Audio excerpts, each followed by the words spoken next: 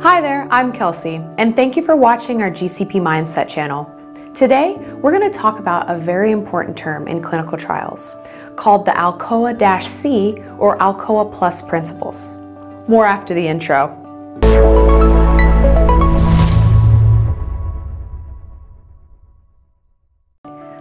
The ALCOA-C principle is an acronym applied to ensure good data quality from source documentation.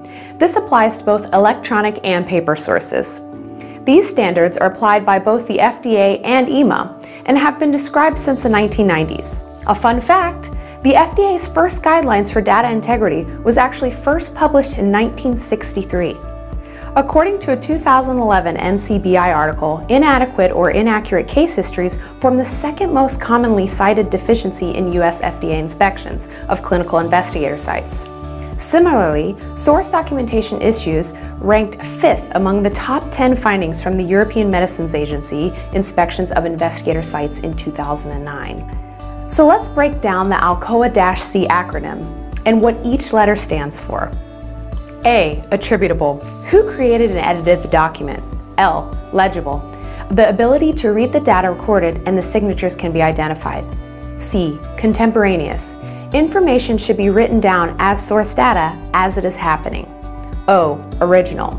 It must not be a copy of an original document like a hand-signed document.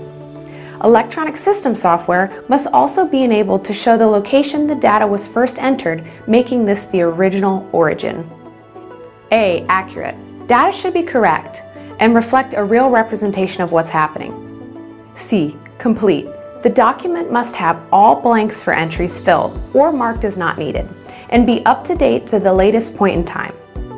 Alcoa Plus adds a few more important principles to the list. Let's go through them now. A for available or accessible. This ensures documentation is able to be accessed and retrieved by auditors and treating physicians in an acceptable amount of time. C for consistent. Events follow a logical and expected sequence throughout. Another C for corroborated.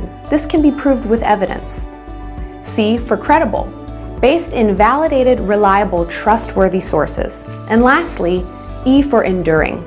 Data is collected on dependable media such as notebooks or electronic software and is long-lasting and durable.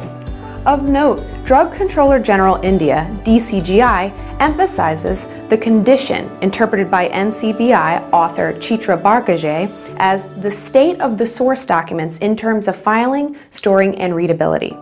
Remember, ALCOA-C and ALCOA Plus principles apply to paper and electronic source documents. By ensuring the data meets the ALCOA-C principle, this helps protect patients' rights, data integrity, and patient safety. We went through quite a lot of terms today, and I hope you enjoyed the brief introduction to the very important term in clinical trials called the Alcoa principle. Please see the links below for more detailed information on this topic. And remember, it's all about mindset, GCP mindset.